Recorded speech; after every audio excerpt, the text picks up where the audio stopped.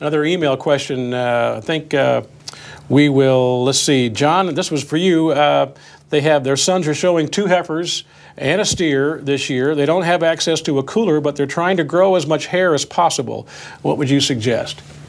Well, I would say with proper nutrition is going to develop good hair.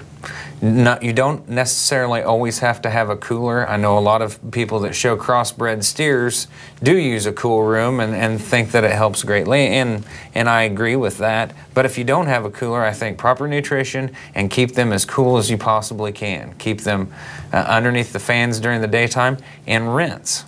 Rinse those cattle a lot, make sure they're clean, and, and brush, brush, brush, and plenty of conditioner.